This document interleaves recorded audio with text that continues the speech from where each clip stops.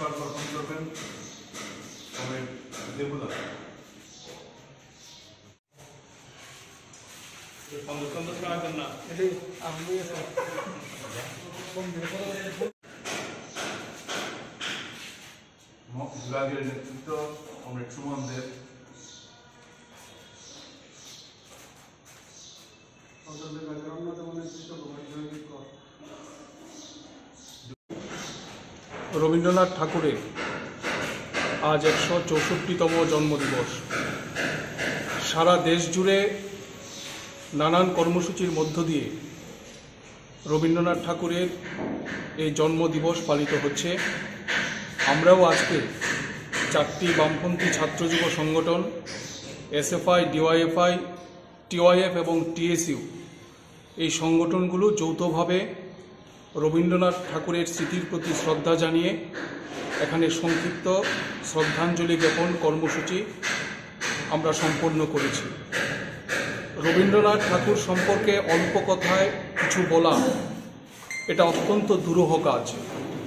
আমরা সবাই জানি যে রবীন্দ্রনাথ শুধুমাত্র একজন ব্যক্তি নয়, রবীন্দ্রনাথ ঠাকুর হচ্ছে গোটা জাতির বেঁচে থাকার আধারের অন্যতম একটা মাধ্যম।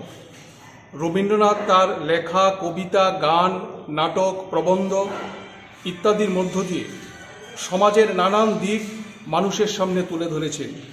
আমরা রবীন্দ্রনাথকে দেখেছি সাম্রাজ্যবাদ বিরোধী মানুষ হিসাবে।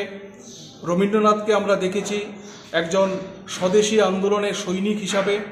রবীন্দ্রনাথকে আমরা দেখেছি প্রকৃতিপ্রেমী হিসাবে এবং রবীন্দ্রনাথকে আমরা দেখেছি একজন রোমান্টিক কবি হিসাবে। ফলে আজকে আমরা মনে করি ছাত্র যুব সংগঠনগুলো সমগ্র দেশ জুড়ে যে গভীর কালো অন্ধকার আমাদেরকে গ্রাস করতে চাইছে, এই সময়ে আমাদের সামনে লড়াইয়ের অন্যতম হাতিয়ার হতে পারে রবীন্দ্রনাথ।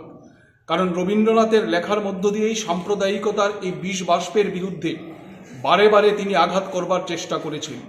ফলে এই লড়াই আমরা ছাত্র যুব সংগঠনগুলো যৌথভাবে লড়তে চা, লড়তে